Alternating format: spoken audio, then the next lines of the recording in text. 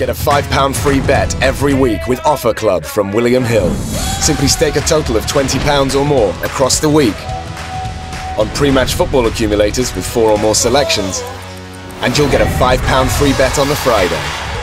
Join William Hill Offer Club on mobile or online now.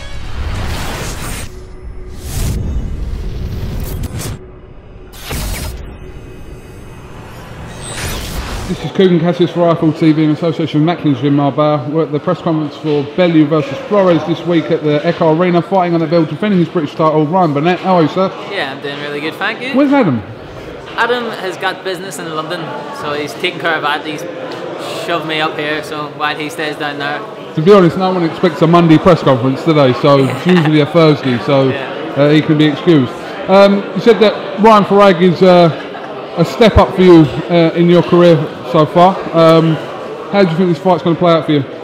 Um, definitely a step up for me, but I think I'm at the point in my career now. This is what I need, and coming into his backyard, back guard, garden, is definitely something that I need to get that experience as a fighter, and um, I'm more than happy to, to do those things.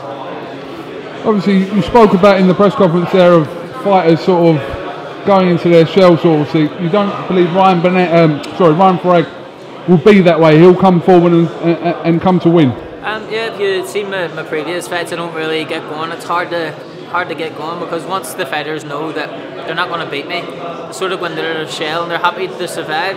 You see this in the fighters; they just head behind the guard and they're not throwing much shots and they're not coming forward as much. But with Farrag, um, he's got a point to prove. He's going to have that. He's going to have that bite, and I think he's he's going to be going to come forward and he's going to be throwing shots and he's not going to rest all night. I think um, that's exactly what I need. I need that, and I think uh, it's what, exactly what he's going to bring, and I think it's going to bring bring the best out of me. Has there been a sense of frustration in your last couple of performances, or or not for you? Definitely has. I had I have not been able to show exactly what I am simply because my opponents they uh, they're going into their shell. You know, they're not giving me anything to work with, and with Farrag, that's going to present. I think he's going to present me uh, with more to work with, and it's it's it will work in my favour. Well, listen, it's a, it's a great contest for this card. It's a great card here in uh, Liverpool. So, uh, sure, uh, this could end up being uh, one of the pick and fights from the night. So, uh, we'll have to see how it plays out. All right, well, listen, Ryan, thanks for talking to uh, IFL TV, and uh, I'm sure we'll catch up with you uh, ahead of fight week. Brilliant. Thank you very much. All right, cheers, mate.